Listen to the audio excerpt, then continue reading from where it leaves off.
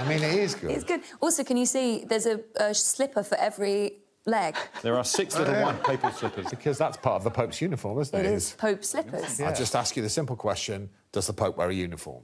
Uh, are you kidding? Do you think he'd come out in a jeans and t-shirt? I don't think so. No, no, but does he wear a uniform? Yeah, that's what it- Nowhere in the world has anyone ever referred to the Pope's clothing as a uniform. You've asked everybody, have you? You've asked everyone. You've. Oh, right, What- so what would you call it? I'm going to put my Pope garb on. Garb. Garb. Yeah. All right.